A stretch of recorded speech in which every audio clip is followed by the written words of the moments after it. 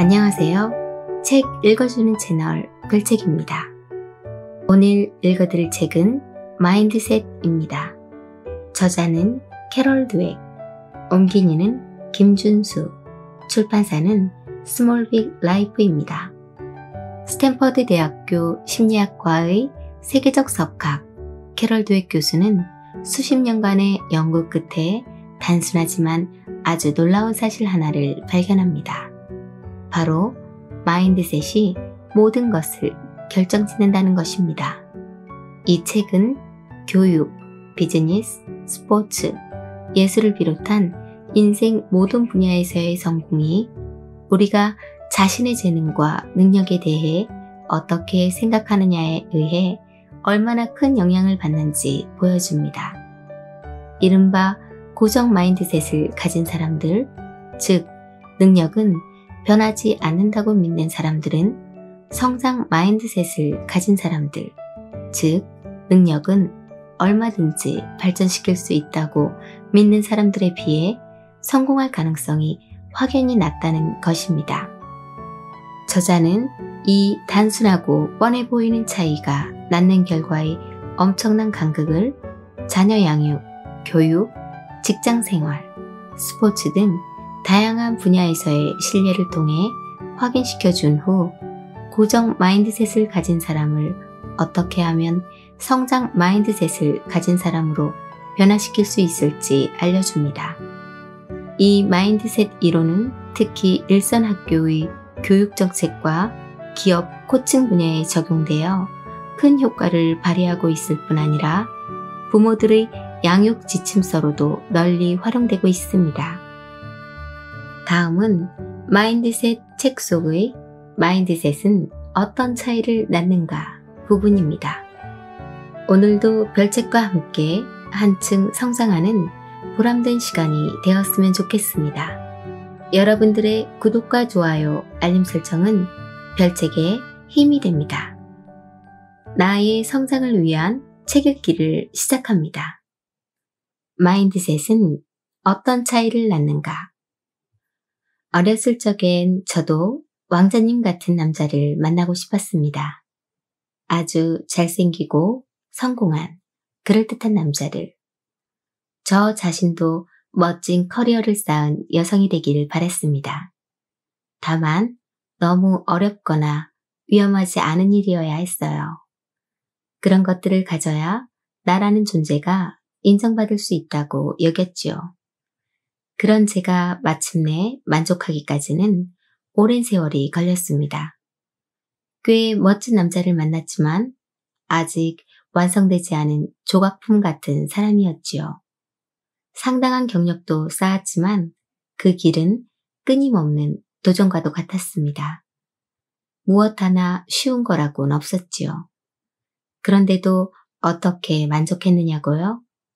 바로 제 mindset을 바꿨기 때문이었습니다. 결정적 계기는 제 연구였습니다. 박사 과정 중인 제 학생 메리 벤두라와 함께 왜 어떤 학생은 유독 자신의 능력을 증명하는 일에 집착할까를 설명하기 위해 연구하던 중이었지요. 자신의 능력을 증명하는 일에 집착하지 않고 자신의 상태를 자연스럽게 받아들이며 배우려는 학생들과의 차이점을 연구하던 어느 순간 우리는 능력에는 두 가지 의미가 있다는 점을 깨닫게 됐습니다. 입증이 필요한 고정된 능력과 학습을 통해 개발할 수 있는 변화 가능한 능력. 이 두 가지 말입니다. 이렇게 해서 마인드셋이 탄생했습니다. 제가 어느 쪽인지 저는 직감적으로 알 수 있었습니다. 그제서야 왜 그토록 평생 제가 실수와 실패를 우려해 왔는지 이해할 수 있었던 것입니다. 그리고 난생 처음으로 저에게 선택의 기회가 있다는 점도 깨닫게 됐지요.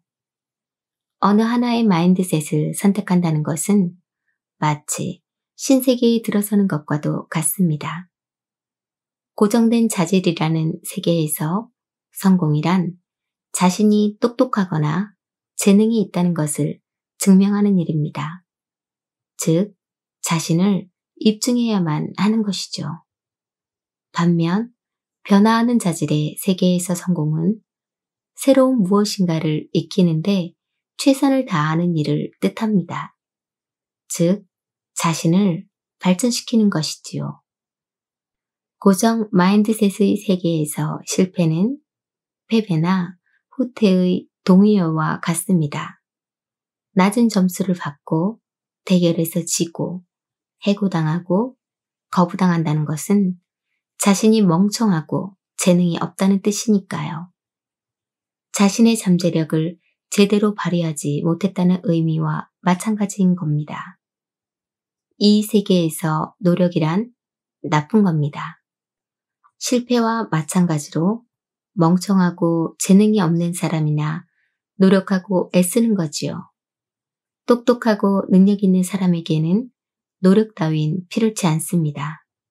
그러나 성장 마인드셋의 세계에서는 노력이란 곧 나를 지식과 재능을 갖추도록 만들어주는 것으로 여겨집니다. 선택은 당신의 몫입니다. 마인드셋은 다만 하나의 믿음에 지나지 않습니다. 아무리 강력한 믿음일지라도 당신의 마음 속에 있을 뿐이고 당신이 마음 먹기에 달린 것이지요. 이번 장을 읽으면서 당신이 도달하고자 하는 목표가 무엇인지, 과연 어떤 마인드셋이 그 여정을 도와줄지 생각해 보길 바랍니다. 새로운 성공의 심리학 유명 정치학자 벤자민 바버는 이렇게 말했습니다. 세상은 강자와 약자 또는 승자와 패자로 구분되지 않는다. 다만 배우려는 자와 배우지 않으려는 자로 나뉠 뿐이다. 대체 배우지 않으려는 자는 어떻게 생기는 걸까요? 누구나 처음에는 강한 학습 욕구를 갖고 태어납니다. 아기들은 매일 최선을 다해 자신의 능력을 발휘하지 않습니까? 심지어 걷기와 말하기처럼 평생에 걸쳐 가장 어려운 일조차도 그때 배우는 겁니다. 너무 어렵다거나 노력할 가치가 없다는 이유로 포기하는 법이 없어요. 아기들은 실수하거나 창피할까봐 걱정하지 않지요. 걷고 넘어지고 다시 일어납니다. 그저 앞만 보고 전진할 뿐이지요. 그런데 이 넘쳐 흐르는 열정을 가로막는 게 있으니 바로 고정 마인드셋입니다. 자기 자신을 평가할 수 있는 나이가 되자마자 어떤 아이는 도전을 두려워하고 똑똑하다는 소리를 듣지 못할까봐 걱정하게 됩니다. 수천 명의 사람들을 미취학 아동 때부터 연구하고 지켜봐온 저는 너무나 많은 이들이 배울 수 있는 기회를 거부하는 모습을 보고 놀라지 않을 수 없었습니다. 4살 배기 아이들에게 선택지를 주는 실험을 한 적이 있습니다. 조각 퍼즐 맞추기를 하는데 이미 풀어본 쉬운 퍼즐과 한 단계 더 어려운 퍼즐 중에서 어느 쪽을 풀어볼지 선택하는 실험이었지요. 그 어린 나이에도 자질은 변하지 않는다는 고정 mindset을 가진 아이들은 보다 쉬운 쪽에 집착했습니다. 마치 똑똑한 아이는 실수하지 않아요 라고 말하는 듯 했지요. 하지만 더 똑똑해질 수 있다고 믿는 성장 마인드셋의 아이들은 그런 선택을 하게 한 자체를 의아하게 여겼습니다. 왜 그런 걸 물어봐요? 같은 퍼즐을 계속 풀고 싶을 리가 없잖아요. 그 아이들은 점점 더 어려운 퍼즐을 풀려고 도전했습니다. 한 여자아이는 꼭 다 풀고 말 거야 라고 외치기까지 했지요. 고정 mindset의 아이들은 자신이 성공했다는 확신을 갖길 원했습니다. 똑똑한 사람들은 항상 성공해야만 해. 하지만 성장 mindset을 가진 아이들에게 성공이란 최선을 다하는 것일 뿐이었지요. 최선을 다하다 보면 똑똑해지겠지. 당시 중학교 1학년이었던 한 여학생은 이렇게 정리했습니다. 지능이란 노력해야 얻는 거라고 생각해요. 그냥 주어지는 게 아니고요. 대부분의 아이들은 답을 확실히 모르면 손을 들지 않지요. 하지만 저는 언제나 손을 드는 쪽이에요. 만약 제 답이 틀린다고 해도 선생님이 바로잡아 주실 테니까요. 아니면 손을 들고 이건 어떻게 풀어야 해요? 라거나 이해가 안 돼요. 도와주시겠어요?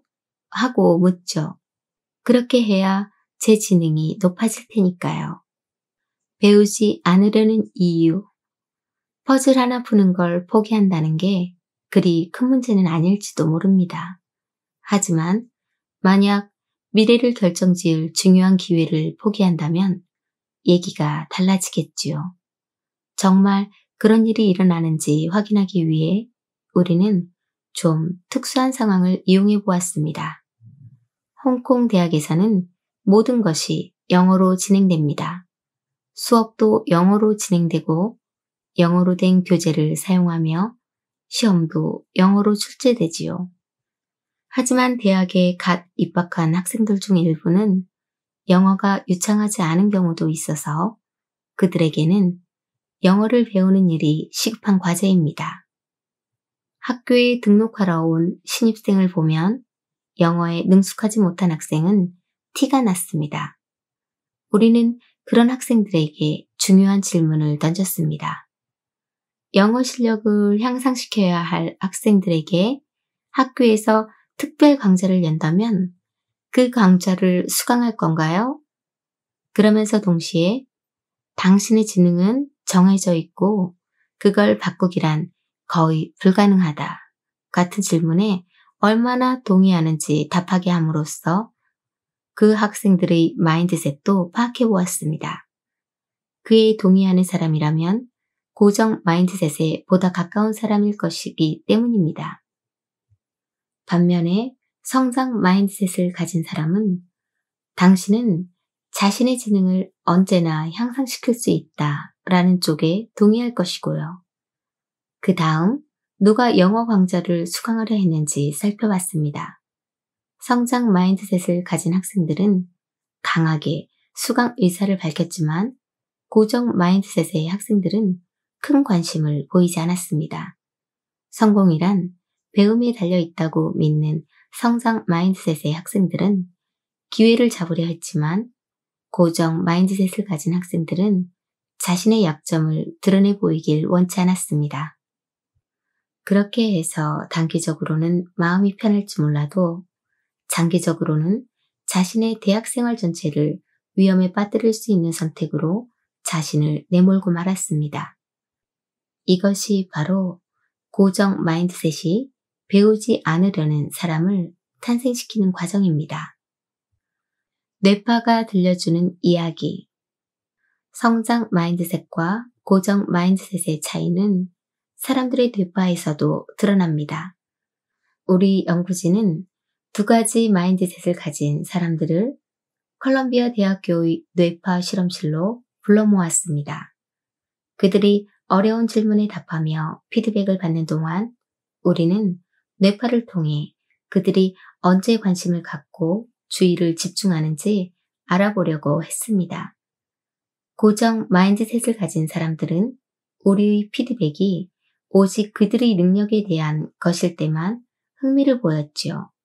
그들의 뇌파는 제출한 답이 맞거나 틀렸다고 말해줄 때 관심을 나타냈습니다.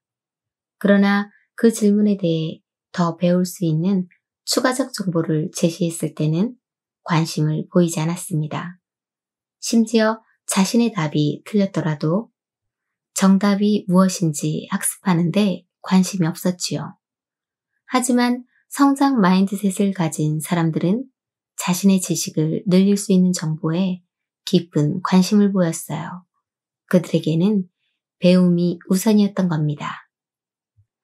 당신의 우선순위는 무엇인가? 다음 둘 중에서 선택해야 한다면 당신은 무엇을 택하겠습니까? 성공과 인정 대 도전. 사람들이 이런 선택을 단지 지적 수준을 평가하는 일에서만 하게 되는 게 아닙니다. 어떤 종류의 인간관계를 원하는지에 대해서도 이런 결정을 해야 하는 순간이 옵니다. 당신은 자존심을 세워주는 사람과 나를 더 성장하게끔 해주는 사람 중 누구를 고르겠습니까? 어느 쪽이 당신의 이상적인 파트너인가요? 우리는 이 같은 질문을 청소년들에게 던졌고 다음과 같은 답을 받았습니다. 고정 mindset을 가진 청소년들은 자신의 이상적인 파트너란 나를 잘 받쳐주는 사람, 내가 완벽하다고 느끼게 해주는 사람, 나를 존경해주는 사람이라고 답했습니다. 즉, 그들에게 완벽한 친구란 자신의 고정된 자질들을 소중히 아끼는 사람인 것이죠. 제 남편도 예전에는 이런 식으로 생각했다고 제게 고백했습니다. 한 사람의 신이 되고자 바랐다는 겁니다. 다행히도 저를 만나기 전에 남편은 이런 생각을 버렸습니다. 그럼 성장 mindset을 가진 사람들은 어떤 파트너를 바랐을까요? 그들에게 이상적인 짝은 내 잘못을 지적하고 개선할 수 있게 도와주는 사람, 더 나은 사람이 되게 해주는 사람, 새로운 것을 배우도록 독려하는 사람이었습니다. 그렇다고 그들이 자신을 비난하거나 자존감을 깎아내리는 상대를 원한 것은 아니었어요. 다만 자신의 발전을 도와줄 수 있는 사람을 바랐을 뿐입니다. 자기 자신을 완전히 성장한 더 배울 것 없이 흠결없는 존재라고 여기지 않은 겁니다. 혹시 이런 의문이 들지는 않나요? 음, 그럼 서로 다른 mindset을 가진 두 사람이 만나면 어떻게 될까? 자, 성장 mindset을 가진 여성이 고정 mindset을 가진 남성과의 결혼 생활에 대해 다음과 같이 말하는 모습을 한번 상상해 봅시다. 내가 큰 실수를 저질렀구나 하고 느꼈을 때는 이미 늦은 뒤였어요. 내가 왜 우리는 이렇게 데이트를 많이 안 해? 라거나 뭔가 결정하기 전에 나랑 더 상의했으면 좋겠어. 같은 말을 할 때마다 그이는 충격을 받았어요. 그래서 내가 제기한 문제에 대해 얘기하게 되기는 커녕 그이의 기분을 풀어주느라 시간을 다 써버리고 말았지요. 뿐인가요? 그때마다 자기 엄마에게 전화를 걸더군요. 엄마는 자기가 듣고 싶은 칭찬을 끊임없이 해주니까요. 우리는 둘 다 어리고 결혼에 대해 아는 게 없었죠. 전 단지 대화가 하고 싶었을 뿐이었는데요. 말하자면 성공적인 관계에 대한 남편의 생각과 아내의 생각이 서로 달라서 발생한 상황입니다. 두 사람의 마인드셋이 다르면 이렇게 파국을 낳을 수도 있습니다. 누군가에게는 성장이지만 상대에게는 악몽이 될 수도 있는 겁니다. CEO라는 병에 걸리면 남들보다 높은 자리에 앉아 군림하고 완벽해 보이기를 원하는 인물을 두고 우리가 종종 CEO병을 앓고 있다는 표현을 쓴다는 점은 그리 놀라울 것이 없습니다. 리 아이아 코카가 대표적으로 그런 인물이 나쁜 전형이라고 할 수 있지요. 크라이슬러 자동차의 수장으로 성공을 거둔 뒤 아이아코카는 앞서 우리가 얘기했던 고정 mindset을 가진 딱 4살 배기 아이 같은 모습을 보였습니다. 오직 외형만 좀 바꾼 같은 차량 모델을 계속해서 출시했던 것이죠. 하지만 불행히도 어떤 소비자도 그런 제품을 원하지는 않았습니다. 그러는 동안 일본 자동차 회사들은 차의 외관과 기능에 대해 완전히 새롭게 생각을 바꿨습니다. 그리고 우리가 이미 알고 있듯이 일본 자동차가 시장을 빠르게 장악해 버렸지요. CEO들은 항상 이런 선택과 마주합니다. 자신의 결점에 과감히 맞서야 하는가 아니면 자신에게 결점이 없는 세상을 만들어내야 하는가. 아이아코카는 둘 중 후자를 택했다고 할 수 있지요. 그는 주변을 추종자로 채우고 비판자는 몰아냈고 그럼으로써 곧 자신의 주력 분야에 대한 감마저 잃고 말았습니다. 배우려 하지 않는 자가 되어버린 것이지요. 하지만 CEO라고 해서 모두 그 병에 걸리는 것은 아닙니다. 매번 자신의 단점에 맞서 극복하는 위대한 리더들도 많지요.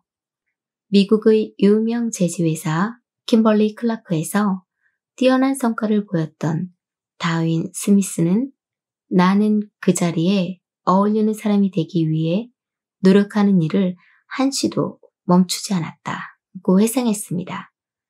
성장 mindset을 지녔던 홍콩대학의 학생들 같은 이런 사람들은 자신을 개선하기 위한 노력을 결코 소홀히 하지 않지요.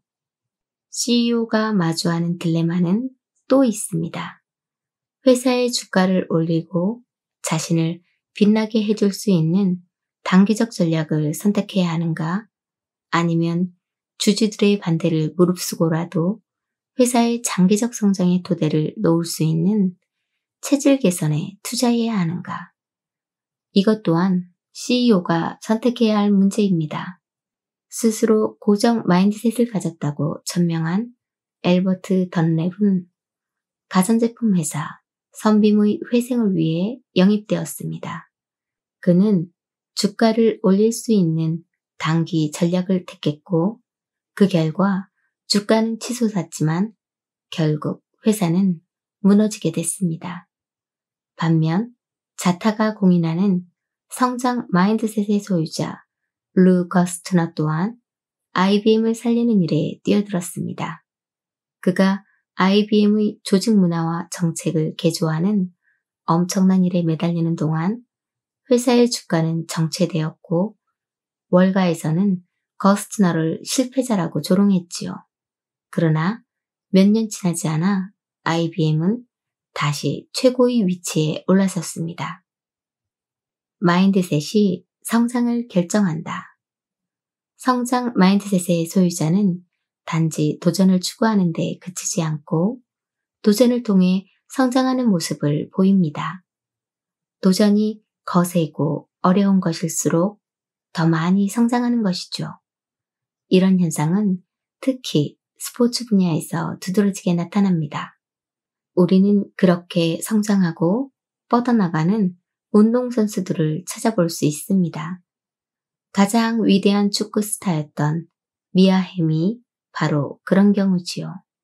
운동선수로서 내 삶은 언제나 나이와 기술, 경험이 더 많은 한마디로 저보다 뛰어난 선수들에게의 도전 그 자체였다고 할 수 있지요.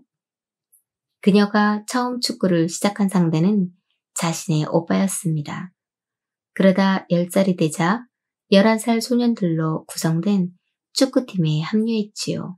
그리고 마침내 미국 최고의 대학 축구팀에 입단하기까지 했습니다.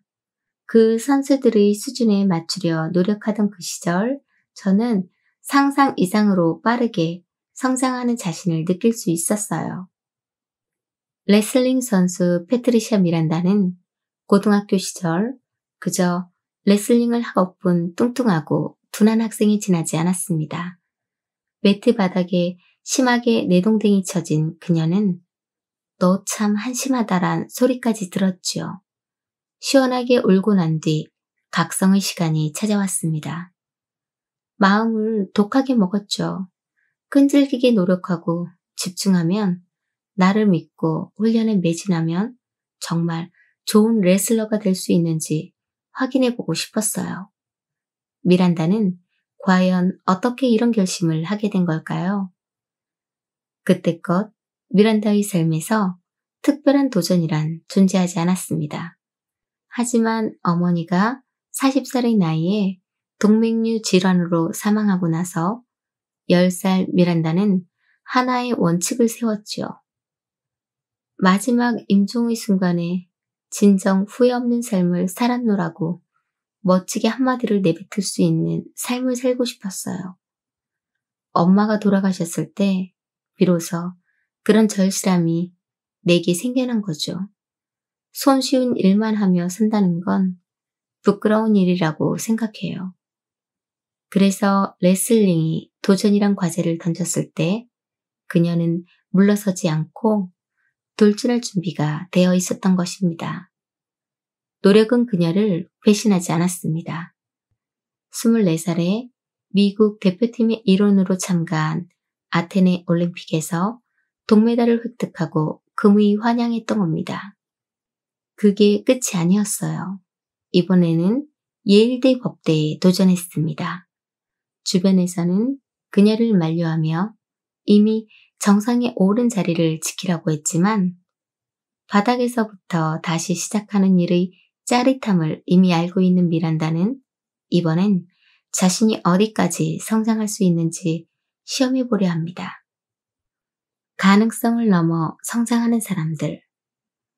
때로 성장 mindset을 가진 사람들은 자신을 불가능의 한계 이상까지 끌어올립니다. 1995년 영화 슈퍼맨 시리즈의 주연 배우로 유명한 크리스토퍼 리브는 낙마 사고를 당했습니다. 목뼈가 부러지고 척수가 끊어진 그는 목 아래가 완전히 마비되는 지경에 이르렀지요. 의료진은 안타깝지만 어쩔 수 없는 일이라며 그 상태를 받아들이며 살라고 조언했습니다. 하지만 리브는 전기 자극의 도움을 받아 마비된 신체의 각 부분을 재활하는 프로그램을 시작했습니다. 왜 다시 움직이는 법을 배울 수 없다는 건가? 뇌가 명령하면 신체가 그 명령을 수행하는 상태에 이르지 못할 이유가 뭐란 말인가? 라는 각오였을 겁니다. 의사들은 그에게 그러다가 자칫 깊은 절망의 나락으로 떨어질 수 있다고 경고했습니다. 이전에도 그런 도전에 나선 환자들을 여러 봤으니 리브가 새로운 환경에 적응하지 못하고 방황하는 증거라 여겼던 겁니다. 하지만 리브에게 달리 어떤 길이 있었을까요? 그는 단지 최선의 선택을 내렸을 뿐입니다.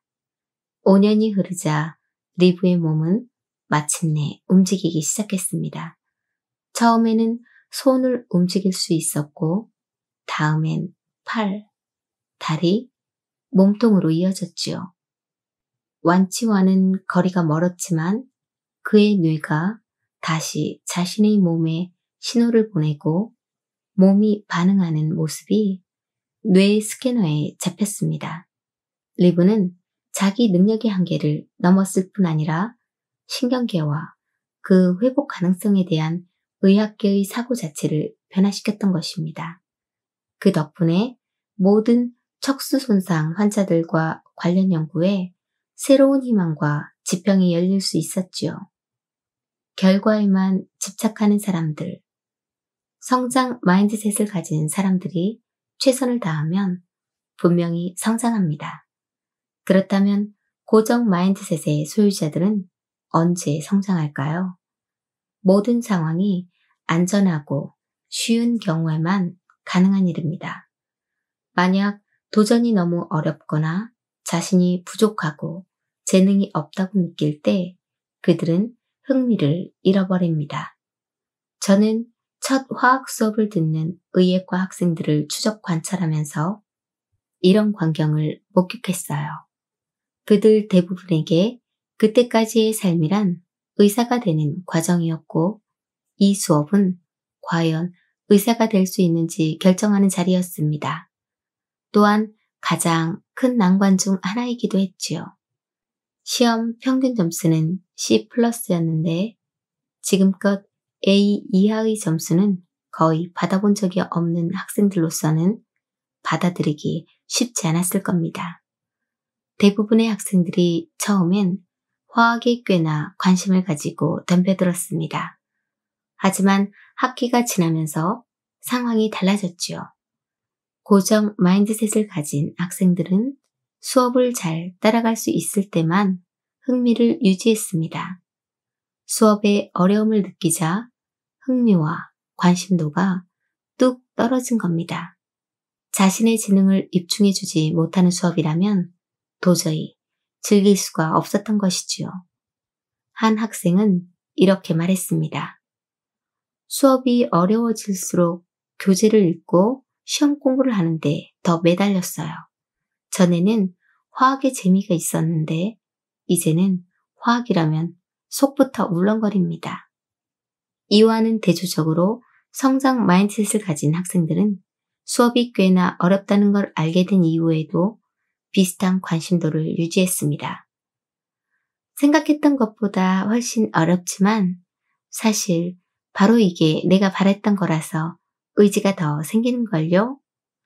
내가 할 수 없다는 세상의 시선이 오히려 나를 전진하게 하니까요. 이렇게 도전과 관심이 앞서거니 뒤서거니 하면서 나타나는 겁니다. 우리 연구진은 그들보다 어린 학생들에게서도 같은 현상을 찾아볼 수 있었습니다. 초등학교 5학년 학생들에게 퍼즐 문제를 내주자 처음에는 모두 좋아했지요. 하지만 더 어려운 문제를 내줄수록 고정 mindset을 가진 아이들의 기쁨은 급감했습니다. 풀다 남은 퍼즐을 집에 가져가겠다는 생각까지 바꾼 아이도 있었어요. 전 괜찮아요. 집에 같은 게 있으니 그냥 두고 갈게요. 라고 둘러대면서. 하지만 실제로는 그저 마음먹은 만큼 빨리 풀지 못해서 포기했을 뿐이었습니다. 평소에 퍼즐을 아주 잘 풀었던 아이들도 마찬가지였지요.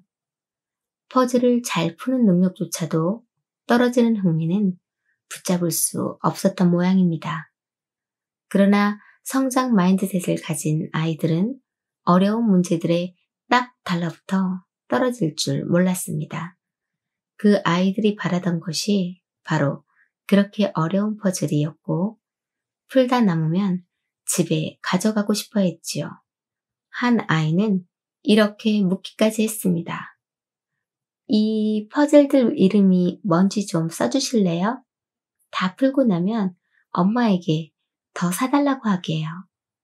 얼마 전에 저는 러시아의 위대한 무용수이자 코치인 마리나 세미온노바에 대한 이야기를 읽었습니다. 그녀가 학생들을 선발하는 방식은 그야말로 마인드셋에 대한 현명한 테스트라고 할 수 있습니다. 그녀에게 배웠던 한 학생은 이렇게 회상했습니다. 우선 코치님이 자신의 직장과 비판에 어떻게 반응하는지 보는 시험에서 살아남아야 해요. 비판에 대한 수용력이 높은 아이들이 높은 점수를 받게 되죠. 즉, 세미노바는 학생들을 두 그룹으로 구분한 겁니다. 자신이 이미 통달한 쉬운 과제에서 기쁨을 얻는 학생들과 어려운 과제로부터 기쁨을 얻는 학생들로 말이죠. 물론 후자가 앞으로 그녀의 가르침을 얻게 될 거라는 건 자명한 일이었고요. 저는 인생에서 처음으로 스스로에게 너무 어렵지만 재미있어 라고 느꼈던 때를 아직도 잊지 못합니다. 바로 그때가 저의 마인드셋이 바뀐 순간이었겠지요. 능력보다 배움이 중요하다. 고정 mindset을 가진 사람들에게 일은 점점 꼬이게 되어 있습니다. 성공하는 것만으로는 만족하지 못하기 때문입니다. 단지 남들보다 똑똑해 보이고 재능 있어 보이는 정도로는 충분치 않습니다. 거의 완벽한 수준에 올라야 하는 거지요. 그것도 지금 당장. 우리는 초등학생부터 청소년에 이르는 다양한 학생들에게 언제 똑똑하다는 생각이 드는지 물어보았습니다. mindset에 따른 차이는 아주 컸습니다. 고정 mindset을 가진 경우엔 다음과 같은 답이 나왔습니다. 아무 실수도 저지르지 않았을 때요. 뭔가를 빠르고 완벽하게 끝냈을 때죠. 나한테는 쉬운데 다른 사람들은 어려워할 때 그래요. 즉, 지금 당장 완벽해야 하는 겁니다. 하지만 성장 mindset을 가진 사람들은 이렇게 말했습니다. 정말 어려운 일을 정말 열심히 했을 때죠. 그리고 예전에는 못했던 일을 해냈을 때예요. 뭔가에 오래 매달렸는데 마침내 알아냈을 때입니다. 그들에게 당장의 완벽은 중요하지 않았습니다. 단지 시간이 걸리더라도 무엇인가를 배우게 됐을 때 비로소 똑똑하다는 생각을 하게 되는 것이죠. 바로 도전에 맞서 성과를 얻어냈을 때 고정 mindset을 가진 사람들은 배우기 전부터 자신의 능력이 드러나기를 기대합니다. 말하자면 뭔가를 얻고자 한다면 얻어야 마땅하고 얻지 못했다면 그것으로 끝이라는 생각인 것이죠. 저는 그런 모습을 항상 보고 있습니다. 제가 예전에 학생들을 가르쳤던 컬럼비아 대학교 심리학과는 전 세계로부터 지원자들이 몰리지만 1년에 단 6명의 대학원생만을 뽑습니다. 그들은 모두 놀라운 시험 성적, 거의 완벽한 학점, 저명한 학자들이 보낸 더할 나위 없는 추천서를 가지고 옵니다. 무엇보다도 그들은 최고의 대학원들로부터 구애를 받아온 학생들이지요. 하지만 그들 중 일부가 자신을 사기꾼처럼 여기게 되는 데는 하루면 충분합니다. 어제만 해도 소위 잘 나가던 자신이 하루아침에 실패자로 전락하는 느낌을 받는 거죠. 왜 이런 일이 벌어질까요? 교수 속에 붙어 있는 우리의 긴 논문 목록을 보고는 젠장, 난 이렇게 못하겠네 하며 좌절합니다. 또 선배들이 논문을 제출하거나 연구 보조금 지원서를 제출하는 모습을 보고는 역시 이런 난 이렇게 할 수 없어 하고 탄식하고요. 시험을 잘 보는 법, A학점을 받는 법은 알아도 아직 논문을 쓰고 연구하는 방법은 모르는 겁니다. 그렇습니다. 아직이요. 그들은 자신들이 아직 그 방법을 모른다는 점을 당연하게 여기지 못하는 겁니다. 바로 그들에게 그 방법을 가르치기 위해서 학교가 존재하는 것 아닌가요? 그런 일들을 배우기 위해서 대학원에 온 것이지 이미 다 알고 있다면 대체 왜 이곳에 힘들게 온 건가요? 저는 재닛 쿡과 스티브 글래스도 이와 마찬가지였을 거라고 생각합니다. 그들은 날조한 기사로 최고의 자리까지 오른 젊은 기자들입니다. 재닛 쿡은 마약에 중독된 8살 소년에 관한 워싱턴 포스트 기사로 퓰리처상을 거머쥐었습니다. 하지만 그 소년은 실제 존재하지도 않는 인물로 밝혀졌고 결국 그녀는 퓰리처상을 박탈당했지요. 스티븐 글래스는 뉴 리퍼블릭지에서 총망받던 인재로 기자라면 모두 꿈꾸는 기사거리와 취재원을 가진 듯 보였습니다. 하지만 취재원들이 실제로는 존재하지 않았고 기사들은 허구라는 점이 판명되었지요. 제닛 쿡과 스티븐 글래스는 왜 당장에 완벽해져야만 했을까요? 자신들의 무지를 인정하면 동료들로부터 버림받을 걸 두려워한 것일까요? 힘겨운 취재 과정을 거치기도 전에 단숨에 뛰어난 기재가 되어야 한다고 생각했던 것일까요? 우리는 스타였다. 이미 완성된 스타. 그리고 바로 그 점이 중요했다고 스티븐 글래스는 썼습니다. 대중들은 그들을 사기꾼이라고 생각하지만 제 눈에는 단지 고정 마인드셋이 주는 순간의 쾌락에 굴복해 자포자기한 재능 있는 젊은이들로 보입니다. 1960년대에 흔히 하던 말로 과정이 결과보다 중요하다는 표현이 있습니다. 하지만 고정 마인드셋은 사람들이 그 과정을 즐길 수 있도록 놔두지 않습니다. 당장에 결과부터 내놓으라고 닥달하는 것이죠. 여기까지가 오늘의 책 내용이었습니다. 오늘 우리는 우리 자신이 고정 mindset의 사람인지 성장 mindset의 사람인지 살펴보고 성장 mindset을 가진 사람이 되고자 어찌해야 할지 생각해 보면 좋을 것 같습니다. 오늘도 힘내시고 좋은 날 만들었으면 좋겠습니다. 내일은 더 나은 당신의 세상이 될 것입니다. 감사합니다. 당신을 응원하겠습니다.